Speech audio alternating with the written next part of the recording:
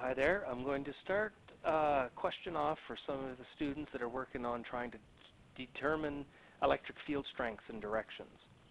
So I've set up a question where we have two charges, A and B, that are positive 2 millicoulombs and uh, negative 3 millicoulombs respectively, and I've got them 10 centimeters apart. Excuse me. The question would be then to determine what the magnitude and direction of the electric field at some point farther away, 10 centimeters north of B. So we've got them 10 centimeters apart and a point that's north of that, and I want to know what's the magnitude of the electric field. Well, our electric field formula can be defined as the electrostatic constant K times the Q that is generating a char or a field divide by how far you are from that source charge, d squared. So because of A, there's an electric field around A. And at a point P, which is a good distance away, it would be 14.1 centimeters if you were to do Pythagoras' theorem with the two tens. So at 14.1 centimeters from, from A, there's an electric field. But there's also an electric field because of B, and that you're 10 centimeters. So at point P, you're 10 centimeters from B, and there's an electric field. So I'm going to draw vectors or arrows that show the direction. The direction of electric field is always which way a positive charge would move. So if I have a little positive charge here, and A is a positive charge, I know that like charges repel, so the electric field direction because of P, or because of A, is off in this direction at that angle. And that's the electric field because of A. Now the electric field because of B is a positive here, negative there. This P would be pulled downward towards, or the electric field direction would be downward towards B. And so your goal is to determine what the length of those vectors are using this formula, and then how to add those two electric fields together. And that's a vector exercise, which I have other videos that would show you, but I'll still work it through. Okay, so oh, I think we're ready to start. We're going to work out EA first and it is k, and the constant k is 9 times 10 to the 9, times the QA that is making up this, and it's 2 millicoulombs, 2 times 10 to the minus 3 coulombs, divide by the distance between A, which is the 0.141 meters, and we square, because those are in centimeters, so 0.141 meters. So we need to bring up and calculate what that electric field is. So we'll bring up the calculator and take a look. So we've got, turning it on, 9 times 10 to the 9 times 2 exponent negative 3 divide by 0.141 squared. Gives us uh, 9 times, this large? Uh, 1, 2, 3, 4, 5, 6, 7, 8. So 9.05 times 10 to the 8 newtons per coulomb. 9.05 times 10 to the 8 newtons per coulomb. That's what the electric field because of A is. Okay, so we'll bring this up. We'll uh, hide that one for now. So now we need to figure out what, oh we lost our EA. 9.05. What happened there? I don't know. Times 10 to the 9. Or times 10 to the 8, I mean, newtons per coulomb. Don't know why that disappeared. Okay, now we'll do the same thing for EB. Work out what its uh, electric field would be. So 9 times 10 to the 9. The charge is 3 millicoulombs times 10 to the negative, uh, 3. Divide by that distance squared.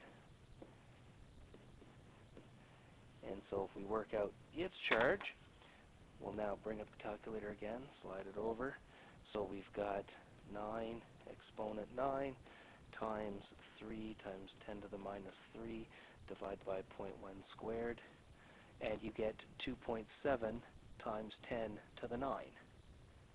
Okay, so 2.7, we're good this time. 2.7 times 10 to the 9 newtons per coulomb. So now what we have, we have two different vectors uh, being that we have to add together. EA, this one on the angle here, is 9.05 uh, times 10 to the 8.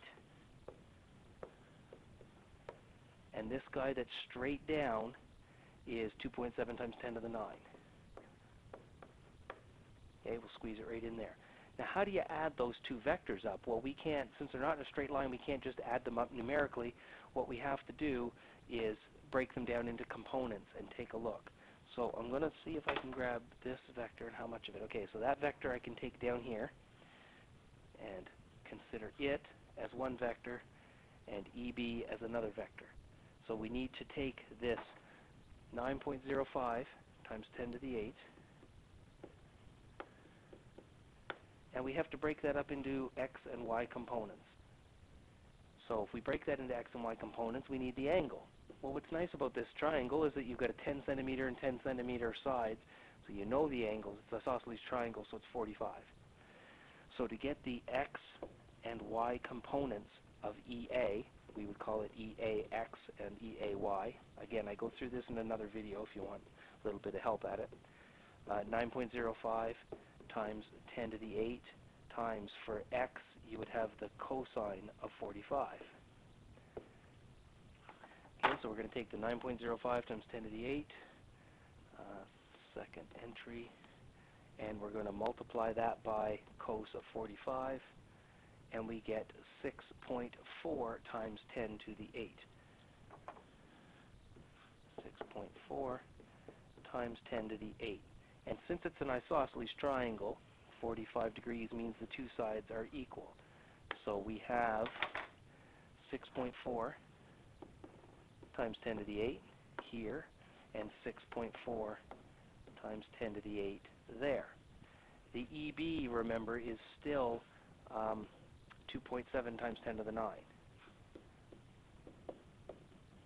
Now this direction is all in the y direction. There's no x component to this vector. So to add up the vectors, you need the total x, and there's only one x that we're dealing with. There's only one x component, 6.4 times 10 to the 8. Our total y component of the electric field is the upward 6.4 times 10 to the 8 and a downward 2.7 times 10 to the 9. And you have to end up subtracting those two, and we get a negative 2.06 times 10 to the 9 newtons per coulomb. Again, it's the same units everywhere. So my total x component is over 6.4 times 10 to the 8. My total y component is down uh, 2.06 times 10 to the 9. We need to work out the resultant.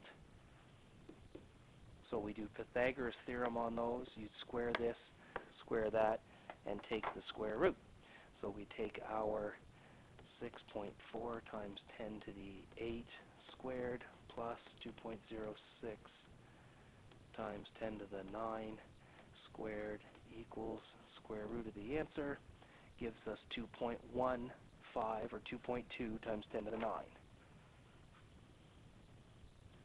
Okay, 2.2 times 10 to the 9 newtons per coulomb. That's the strength of the electric field and the direction of that.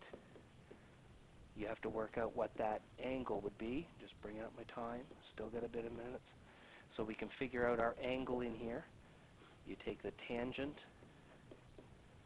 would be opposite 2.06 times 10 to the 9 over the adjacent side, which was 6.4 times 10 to the 8, and you take inverse tan of that fraction to figure out what the angle would be. 2.06 times 10 to the 9 divide by 6.4 times 10 to the 8 inverse tan of the answer gives us a 73 degree angle. So at 73 degrees, so our direction was 73 degrees.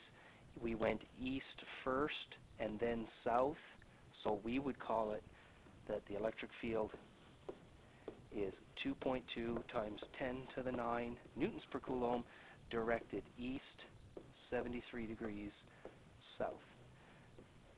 Okay, I hope that helps you out. I know it was a little fast, but these I only have 9 minutes or 10 minutes to deal with with, say, with uh, these questions.